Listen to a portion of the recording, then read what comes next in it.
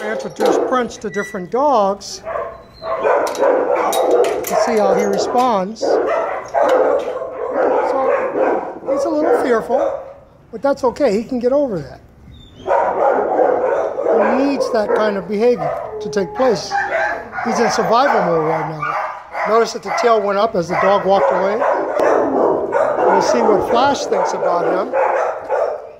Flash was originally the smallest guy here, and now he's the biggest.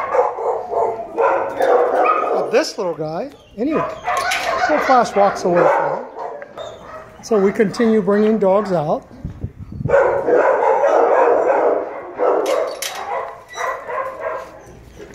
Meet this little guy.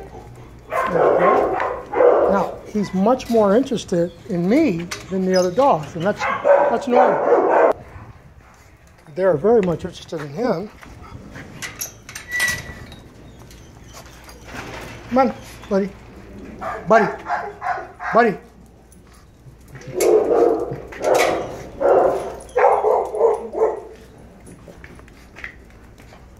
There we go. Yeah, he wants to see me. what do you think, Flash? Now, if you notice, his tail is not down, so he's not showing fear, which is great. He feels somewhat balanced, confident with the other dogs. And that's exactly what I was looking for. I was hoping that it would not be down, and it's not. What's going on there?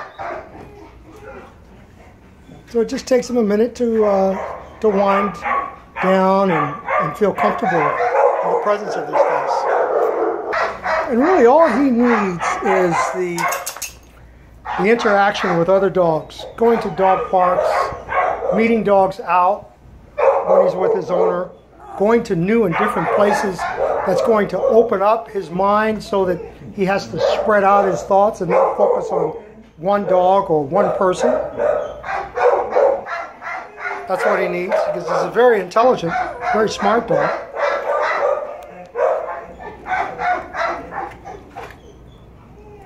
Bring him inside.